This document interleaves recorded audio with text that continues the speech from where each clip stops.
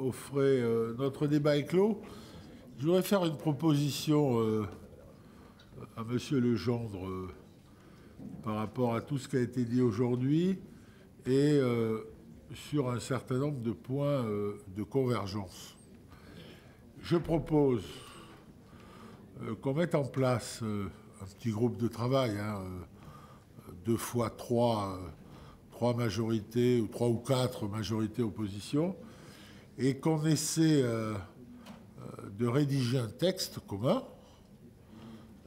qu'on mettra au vote de notre réunion de, début février et qui sera la contribution du Conseil général, ce qui n'empêchera pas les contributions plus politiques des uns ou des autres, qui soit la contribution du Conseil général au débat et qui nous permettra d'une certaine manière de donner la position unanime de l'institution à nos parlementaires qui auront la responsabilité de voter et de débattre des textes qui seront qui seront présentés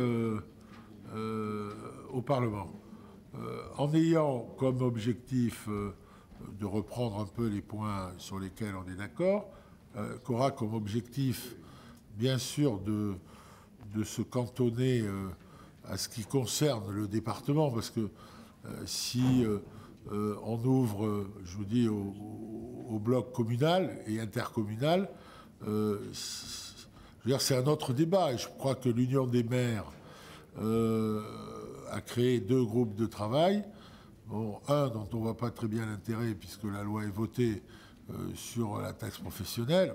Ce sera un, groupe de suivi. Et puis l'autre sur la réforme des collectivités territoriales.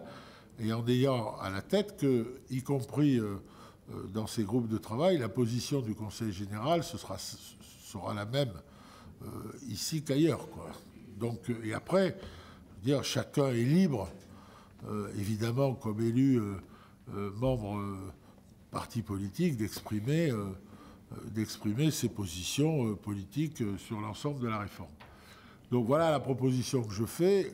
J'en ai pas parlé avec les membres de la majorité, puisque ça sort du résultat de, de, de, notre débat de ce matin. J'en parlerai lundi, mais a priori, je pense qu'on pourrait essayer d'élaborer un texte commun. OK?